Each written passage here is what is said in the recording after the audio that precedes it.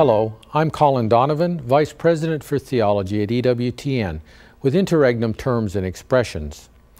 Those to whom our Lord committed his prophetic office are said to have a magisterium, from the Latin word for teacher, magister. This office was given to the apostles, who committed it to their successors, the bishops. Each bishop is the magister for his own diocese.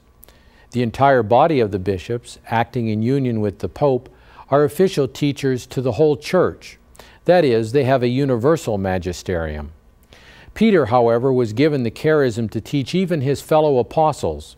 Thus, the papal magisterium is itself a universal magisterium.